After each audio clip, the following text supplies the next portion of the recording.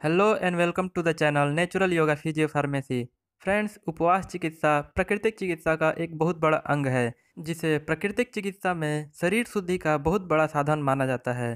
Friends इस video में हम देखेंगे कि उपवास चिकित्सा क्या है, यह कैसे रोगों को दूर करता है, और प्राकृतिक चिकित्सा में उपवास कितने प्रकार के होते हैं, तथा उपवास के दौरान क्या क्या खाना पीना चाहिए। तो आइए फ्रेंड्स वीडियो को शुरू करते हैं।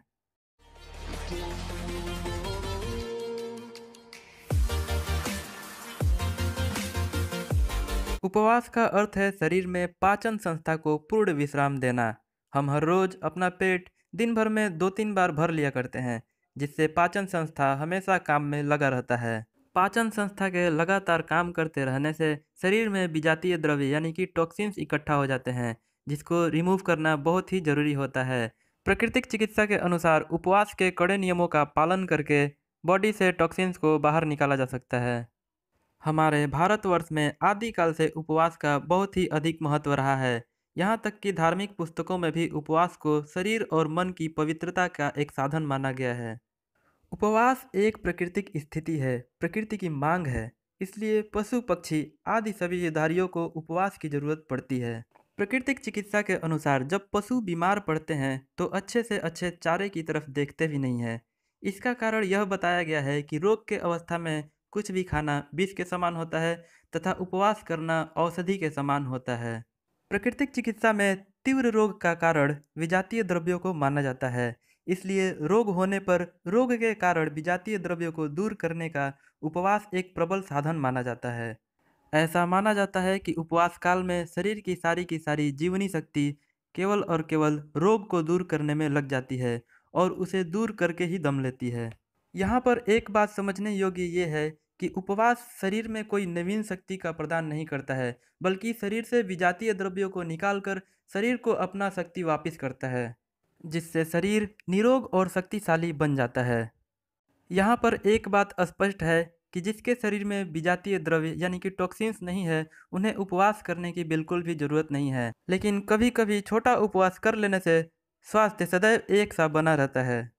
उपवास के दौरान शरीर संचित पदार्थों को यूज़ में लाता है। उपवास से शरीर के सारे टॉक्सिन्स दूर हो जाते हैं और साथ ही साथ मन और आत्मा का भी शुद्धि होता है। उपवास शारीरिक, मानसिक और आध्यात्मिक स्वच्छता का साधन है, लेकिन इसका पूरा पूरा लाभ वही उठा सकता है जिन्हें उपवास कला का पूर्ण ज्ञान हो। उपवास के प्रकार की अगर हम बात करें तो यह कई तरह का होता है, जिसमें सबसे पहला नंबर आता है प्रातःकालीन उपवास का। प्रातःकालीन उपवास सबसे आसान उपवास होता है। इसमें केवल सुबह का नाश्ता छोड़ देना होता है और दिन में केवल दो बार भोजन करना होता है। उसके बाद नंबर आता है सायंकालीन उपवास का, जिसको अर्ध उपवास या एक समय का उपवास कहते हैं। इसमें केवल रात का भोजन नहीं करना होता है और दिन में केवल एक बार ही भोजन करना होता है। उसके बाद नंबर आता है एकाहारोपवास का, इसमें एक बार में एक ही चीज़ खाना होता है। जैसे कि सुबह को यदि रोटी खाया तो शाम को केवल सैलड खाते हैं। दूसरे दिन फिर सुबह को एक प्रकार का कोई फल खाया तो शाम को केवल दूध आदि पीते हैं। शरीर की मामूली गड़बड़ी में इस उपवास से बड़ा ही लाभ मिलता है। उसके बाद नंबर आता है रसोपवास का, जिसमें अन्न, फल या ठोस पदार्थ नहीं लेना होता है। इसमें केवल रसदार फलों के रस और साग सब्जियों के सूप लेना होता है। उसके बाद नंबर आता है फलोपवास का इसमें कुछ दिनों तक केवल रसदार फलों या साग भाजी पर रहना होता है। फलोपवास के दौरान केवल उसी फलों का सेवन करना चाहिए जो आसानी से पच सके। उसके बाद नंबर आता है दुग्धोपवास का, जिसे दूध कल्प भी कहते हैं। कुछ दिनों तक दिन में चार या पाँच बार केवल दूध पीकर ही रहना दूध उपवास कहलाता है। इस उपवास में स्वस्थ गाय के दूध का उपयोग करना चाहिए। उसके बाद मठोपवास होता है, जिसको मट्ठा कल्प भी कहते हैं। पाचन शक्ति यदि निर्बल हो तो दुग्ध उपवास की जगह मट्ठा कल्प करना बहुत ही उचित होता है। इस उपवास में जिस मट्ठे का प्रयोग किया जाता है, वह मट्ठा घी रहित और कम से कम खट्टा होना चाहिए। दुग्ध उपवास और मठोपवास आरंभ करने से पहले, यदि एक या दो दिन का पूर्ण उपवास कर लिया जाए तो अधिक लाभ मिलता है। उसके बाद नंबर आता है पूर्णोपवास का, जिसमें किसी भी तरह का अन्न या फल का उपयोग नहीं करना होता है। इसमें केवल और केवल जल पे उपवास रहा जाता है। उसके बाद नंबर आता है साप्ताहिक उपवास का।